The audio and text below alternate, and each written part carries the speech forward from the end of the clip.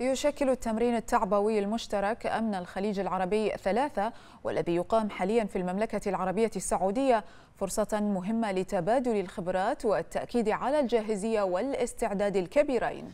وفي هذا الإطار تشارك وزارة الداخلية في فعاليات التمرين متسلحة بخبرات أمنية متقدمة وقدرات احترافية في الأداء. تتواصل بالمملكة العربية السعودية الشقيقة أعمال التمرين التعبوي المشترك للأجهزة الأمنية بدول مجلس التعاون لدول الخليج العربية أمن الخليج العربي ثلاثة والذي يعد الثالث من نوعه حيث نفذ التمرين الأول في عام 2016 بمملكة البحرين في إطار العمل على تعزيز التعاون المشترك والتطوير المستمر في التعامل الأمني مع الأحداث والتحديات المشتركة.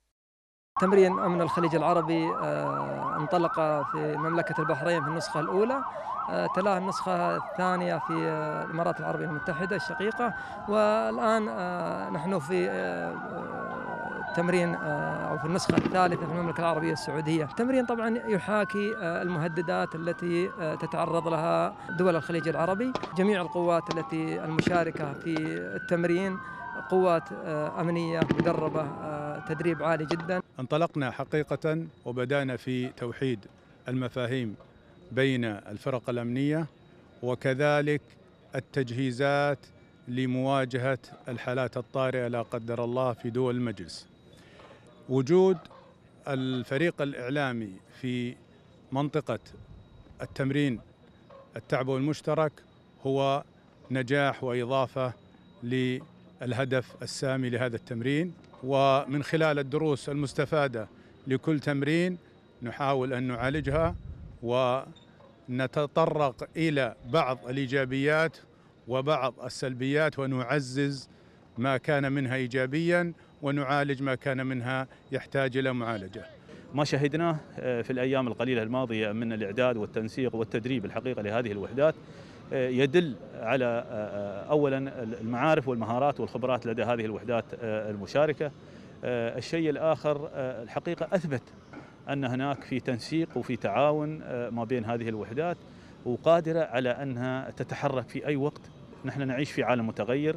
هذا العالم يتطلب سرعة في التحرك للتعامل مع أي من الأحداث الأمنية. آه، ندعو الله عز وجل إن شاء الله أن يوفق جميع الوحدات الأمنية المشاركة في آه، هذا التمرين.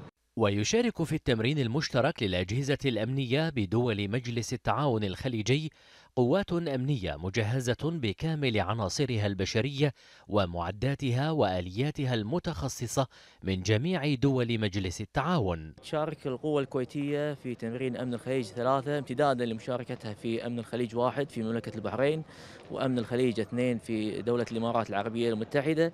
مشاركتنا هذه الثالثة في ظل جائحة كورونا. اللي يميز هذه المشاركة تنوع القوة الكويتية في هذا التمرين حيث شاركت عدة قطاعات من وزارة الداخلية الكويتية في هذا التمرين أمن الخليج ثلاثة.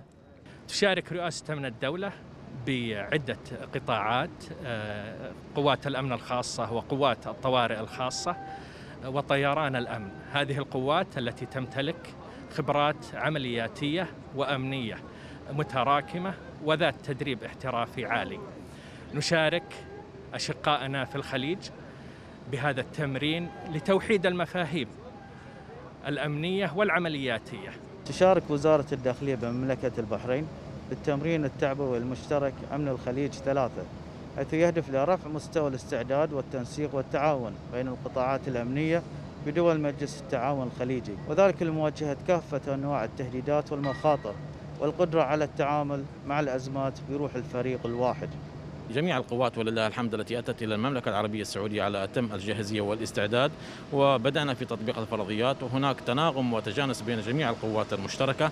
هذا التمرين سوف يعزز من أواصر التعاون بين أبناء دول مجلس التعاون وسوف يساهم في تبادل أيضا المعلومات والخبرات. ومن الإيجابيات في هذا التمرين وجود مركز إعلامي متكامل يضم أحدث الأجهزة والتقنيات وكوادر إعلامية من مختلف الدول المشاركة. أيضا هناك مستشفى ميداني يضم كوادر من مختلف أيضا الدول المشاركة و وهذا بحد ذاته سوف يسهم في الارتقاء بأداء هذه الكوادر وتبادل المعلومات والخبرات. وتعمل الفرق على مستويات متعددة من التدريب وفق سيناريوهات التمرين في إطار منظومة من العمل التكاملي المشترك بروح الفريق الواحد للإسهام في تحقيق أهداف التمرين.